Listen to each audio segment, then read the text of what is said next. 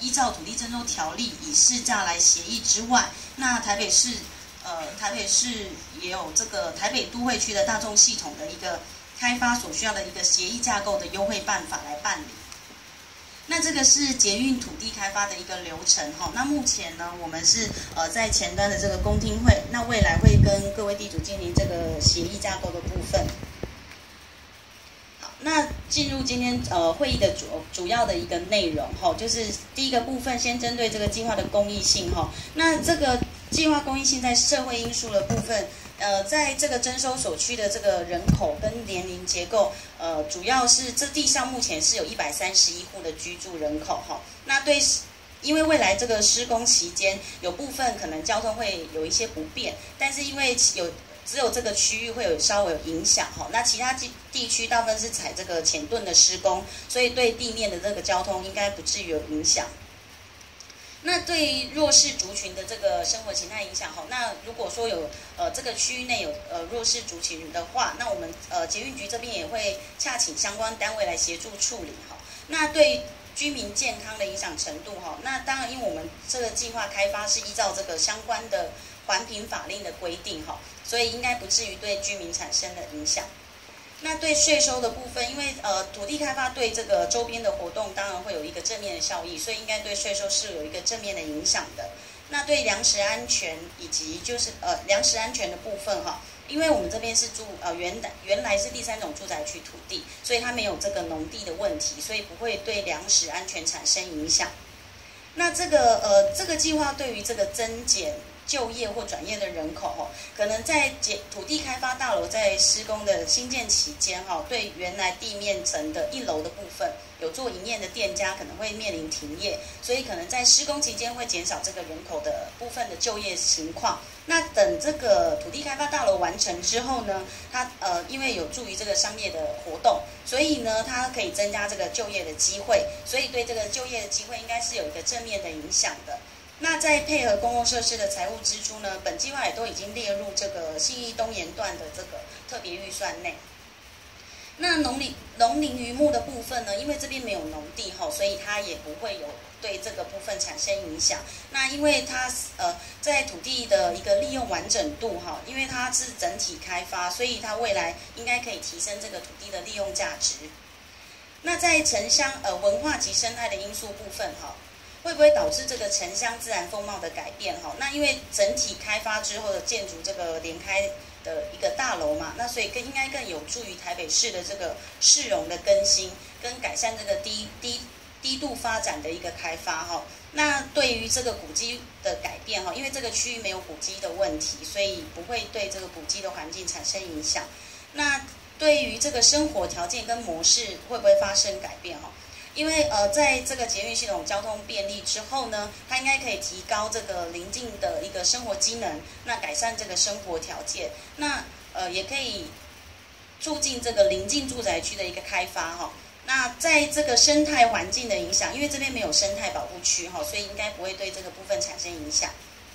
那在对这个周边居民的一个社以及社会整体的影响部分哈。那因为土地开发大楼会设置这个捷运的出入口，所以有利于这个居民的一个搭乘的便利性。那也可以缩短这个旅运的时间，增加交通的一个便利性。所以居民的生活品质应该是可以提升的，而且土地利用的一个价值也提高之后，应该对这个土地也可以有一个增值的一个空间。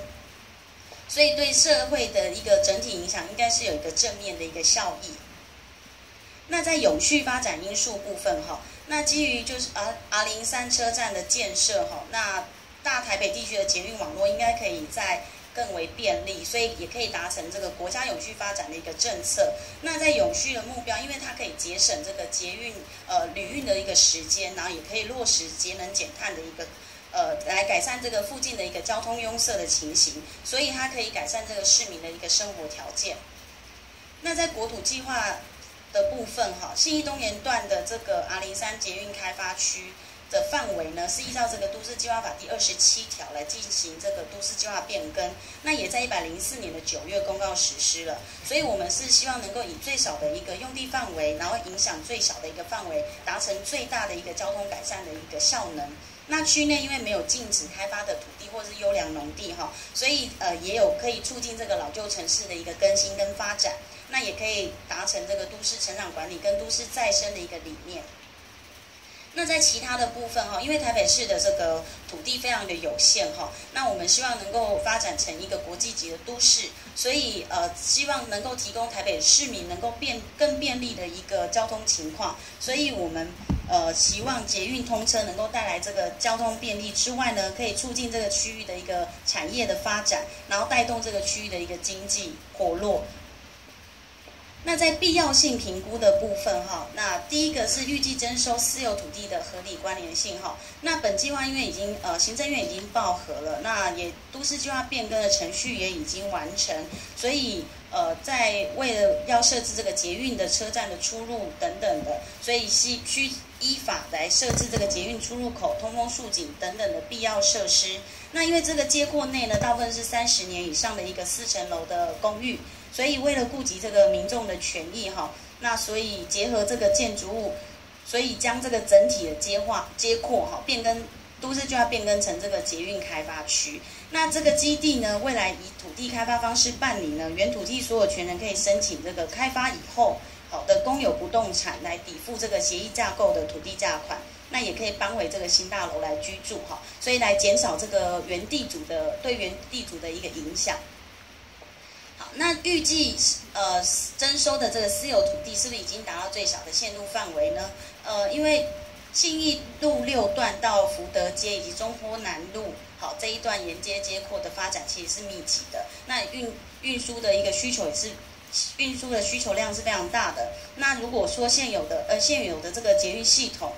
它的服务还是有不足的地方嘛？那所以我们在这个阿灵山站捷运开发区的解散用地部分，我们未来是采这个土地开发的方式来办理。那地主如果参与这个开发的话，则无需以这个征收的方式好来办理。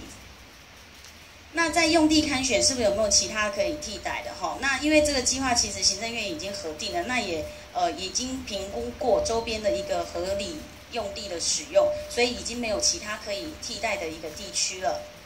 那是否还有其他呃取得方式哈？那第一个就是呃租用或者是设定地上权嘛。那因为捷运系统它。本身是一个永久设施啊，那所以地面上的一个捷运相关设施，其实是不宜用租用或者是设定地上权的方式来取得。那第二个就是捐赠，如果呃各位地主他呃有意愿同意捐赠这个土地的话，那当然是呃捷运局这边是非常乐观其成。那第三个部分就是公司有土地办理交换的部分哈，那因为这个呃。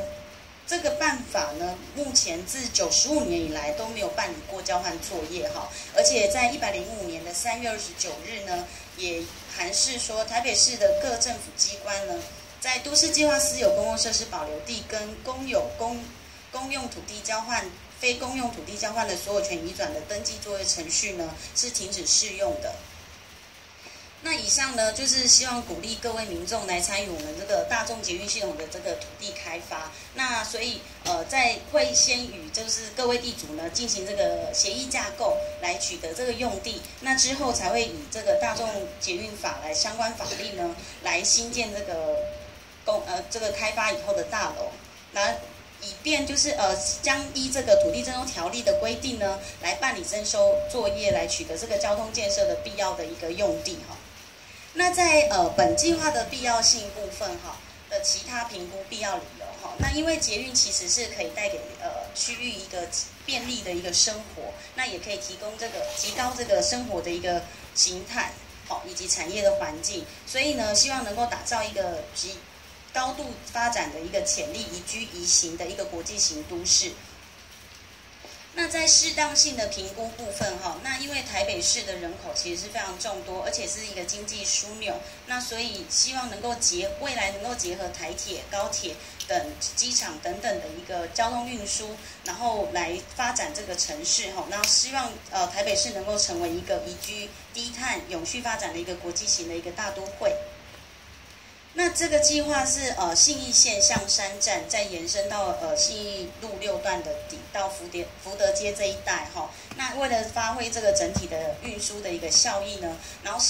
这个捷运开发区是属于一个老旧的社区，那希望未来能够呃经过利用这个土地开发之后呢，可以带动这个地区的一个呃商业的一个经济繁荣。那未来配合这个土地开发道路地理位置跟建筑的配置呢，希望有利于这个地主参与者大众捷运系统的一个土地开发效益，然后能够促进这个都市的一个更新跟推动。那在合法性的评估部分哈，那呃我们主要是在一百零三年九月，行政院已经正式核定在案了。那用地取得的依据主要是依据这个土地征收条例第三条来规定办理。那本呃本次的法定程序办理，呃，我们是依照法定程序办理这次的会议哈。那所以呃，所以我们前一次已经办过第一次公听会了，那今天是第二次公听会，所以也是要进行这个我们刚刚前述所说明的，那也会在。